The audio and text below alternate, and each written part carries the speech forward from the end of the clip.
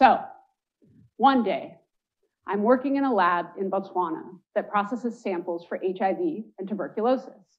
I'm chatting away with the lab tech about my life when suddenly he cuts me off and says, You should be dead. All I did was tell him that I was living with type 1 diabetes. See, in many low and middle income countries around the world, people living with type 1 suffer from a wide range of complications stunted growth, blindness, amputated limbs. And if a child is diagnosed with type 1, their life expectancy ranges from 20 years to less than a year. I've been living with type 1 diabetes for over 30 years. I have this sensor here monitoring my blood sugar, and this here pumping insulin into my body as I speak to you all. Because of my work in sub-Saharan Africa and Southeast Asia, I will never take for granted that I am living with this condition and that I'm still alive. See, my fellow people living with type 1 diabetes and I are locked into a dependence on medication and devices for the rest of our lives. We need them to survive. Unless. I remember when I was first diagnosed at age six, the doctors told my parents there was a cure in the works. Scientists around the world were working on making stem cell derived insulin producing cells in the lab. These could be transplanted into patients and would reverse diabetes. Cell therapy. Soon. Soon. That was when the first Bush was president. When am I going to get these curative cells into my body? I am carrying a double edged sword. One edge is gratitude. Gratitude and a deep appreciation for the amazing innovations in science and technology that led to the devices and medication that keep me alive. And the other edge is anger. Anger that people living with type 1 diabetes require devices and medication to survive, and that these things aren't accessible everywhere for everyone. The impact of a double edged sword lies in how you wield it. I took my combo of gratitude and anger, took stock of my life and my career, and dove into working on a part of myself that previously I had run away from. And that is why I'm here today I believe in harnessing cutting edge innovation to develop the next generation of diabetes therapies. I have assembled a team of amazing scientists with a wide range of skills stem cell biology, transplantation, immunology, chemistry, optics, engineering. And we are pulling together the latest innovations in science and technology, ranging from nanosensors to developments in cell therapy for one big job we call it the diabetes job. Sometimes feels a little bit like I'm part of Ocean's 11, except for we're not breaking into a bank vault. We are trying to break into a new paradigm of diabetes treatment. So earlier today, I was walking around with a basketball and someone came up to me and said, I'm really excited to hear your TED talk on basketball. I know that's confusing. I grew up around here and uh, went to high school down the street. And a long time ago, I was considered quite the basketball player. Haven't played basketball competitively since university, um, but still wouldn't want to come across me on the court. since then, I've worked in R&D focused on diabetes and HIV and tuberculosis diagnostics for Clinton Health Access Initiative. And I've also founded an organization in Southern Africa. Now, I'm the co-founder of a biotech company here in the US. I do have some tips though, for anyone who was expecting a basketball talk. I feel like I have to do justice to that part of the audience. So if you're now an older basketball player, like I am, don't play defense, don't rebound, talk a lot of smack, and shoot deep threes. Okay, let's get back to diabetes. We all are either personally impacted or know some of the 537 million people in the world living with diabetes.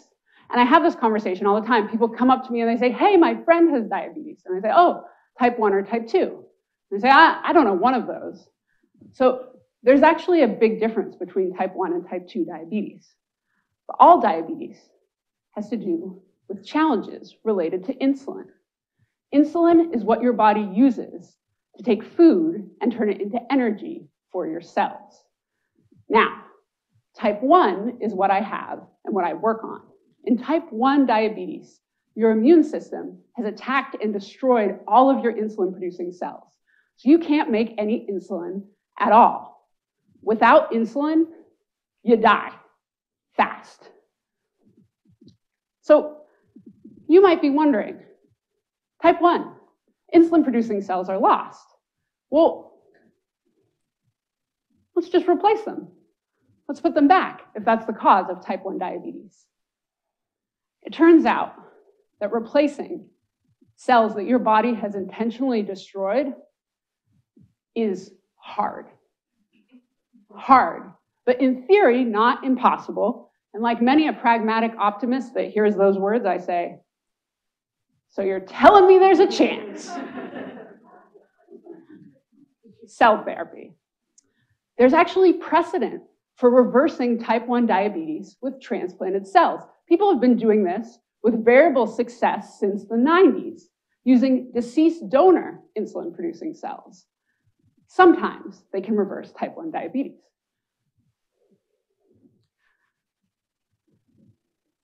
The challenge, among many, is the issue of supply. But there are other sources for insulin producing cells. And one is to make them in a lab from stem cells. They're beautiful. But stem cells can be a bit of a trigger word. They're often hyped as the future of medicine with infinite possibilities.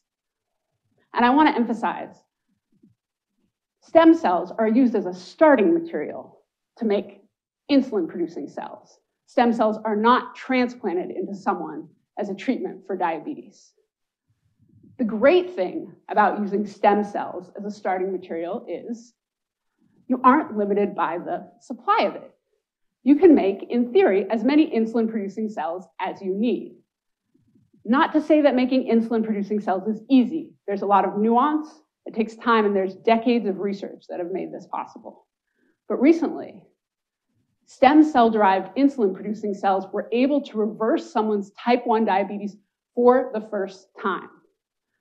I want to take a moment and express my gratitude to the scientists and business people that made that work possible, as well as to the people living with type 1 that are participating in that trial.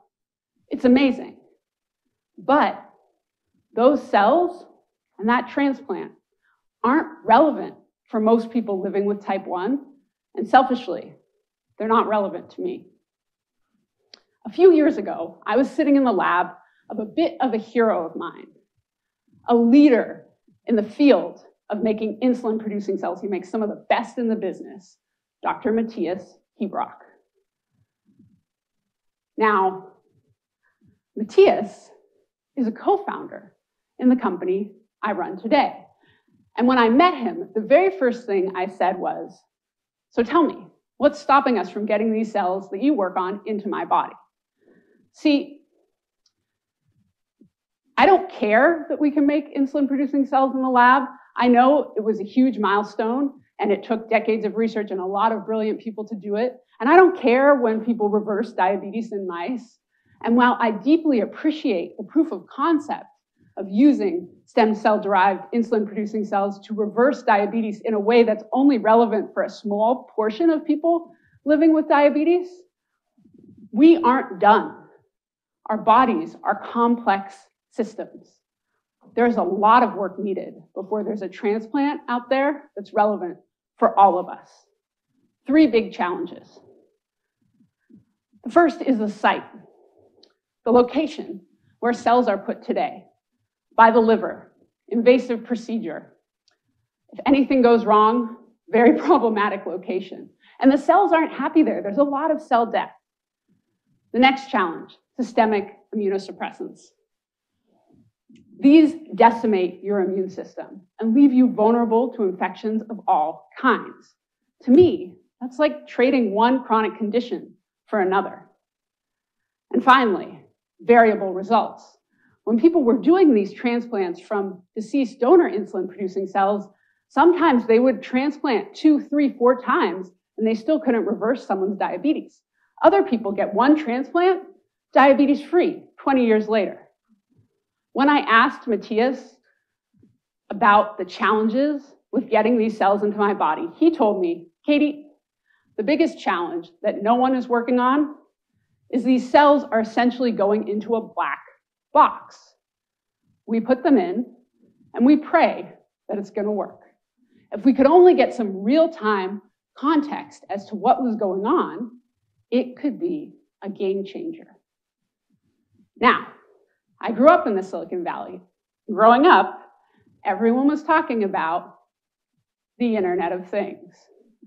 What Matthias and I ended up discussing was what if we took this concept of the Internet of Things, real time data, sensors, and got it to work in cells inside the body, shining light into that black box.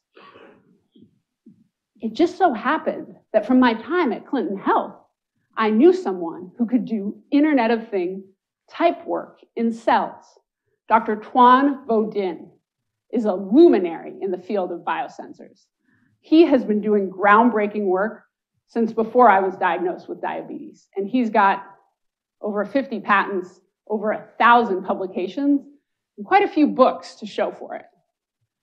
Tuan and the folks in his lab had designed biocompatible gold particles that were super small, tiny enough to fit into cells. In fact, the ratio of these gold sensors to a cell is about the size of a basketball to this room. The great thing about these sensors is that their signal is especially strong, strong enough to be detected through skin. Tuan joined us as our co-founder, and together, the three of us and that amazing Ocean's 11-like team I told you about have been working on making insulin-producing cells in the lab and putting 50 nanometer sensors into them that give us real-time feedback on what these cells are experiencing. Now, you might say, sensors and cells, do you really need them to be there? I've got a sensor in my fridge that tells me when I'm running low on milk and I never use it. When it comes to cell therapy, the ability to see how someone's body is responding and how a transplant is doing is game changing. Let's get back to the topic of immunosuppressants. This is the juggernaut of challenges in the space. If we want to develop a transplant that is relevant for all people living with type 1 diabetes. Your immune system is supposed to be a good thing. Immunosuppressants cripple it. Your immune system protects you, but it also attacks things that it doesn't recognize, like newly transplanted cells. And in type 1 diabetes, it can be especially problematic where your immune system attacked and destroyed cells in the first place. So there's a bit of a dance here. If you don't want to take immunosuppressants, you need to hide the cells. But if you hide the cells and something goes wrong, your immune system can't do its job. What we need is a way to tell if anything has gone wrong with hidden cells and also to tell how well they stay hidden. This is a great job for a nanosensor. Now, this type of technology is actually relevant for other cell transplants as well, and for research generally. But my team and I are laser focused on moving the needle or uh, removing the needle. Sorry, I can't resist. In the diabetes space. Now, what about that last challenge I mentioned, cutting around by the liver and putting cells in that less than ideal location bit? We do anything about that? We've got some technology up our sleeves for that too, literally up our sleeves. we combine our real-time data-generating insulin-producing cells with a cocktail of proteins that make them super robust and give them an edge. So if the cells are Popeye the Sailor Man, these proteins are like spinach. These proteins help cells survive in locations where they would normally struggle. This gives us a lot of flexibility with where we can put these cells. And we are putting them in the forearm, right up our sleeves, just as I said. Now, this transplant protocol is actually in a proof of concept phase one, two clinical trial already. So, sensors and cells is pretty cool. And that foundational technology can be used for a whole lot of things. That's why I actually think it's really important that people that are impacted by conditions have a seat at the table and control and influence over the commercialization of promising novel biotechnologies. We don't have the hammer in hand and everything looks like a nail problem. We take these potent tools and we harness them in a way that's meaningful for our condition and for our community. And we work with urgency. There is nothing I would rather do with my life than work on creating the number one thing that I want to exist. There is no question type 1 diabetes has shaped me. You could argue I'm turning around and trying to shape it right back. Shape is too nice of a word. Reverse, destroy, eliminate. Now, this is the part of the talk where the speaker steps back and says, Well, that's the idea anyway. Let's meet back here in 20 years and I'll see if it works. I did not get into this field to reverse my diabetes when I'm 80. We have the foundational technology. We make insulin producing cells in the lab every week. We know we can put sensors into cells and detect specific challenges from the immune system. We are able to transplant these cells and monitor them in tissue. And the ability to get cells to survive in the forearm, a new, easy to administer site, is already in a phase one, two clinical trial.